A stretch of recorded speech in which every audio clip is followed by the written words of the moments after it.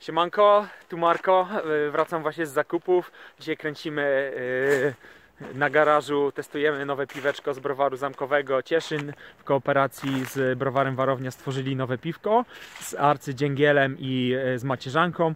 Brzmi bardzo ciekawie. Co to kurwa?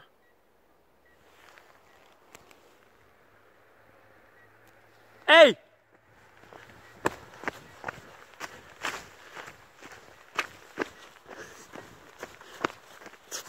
Co to?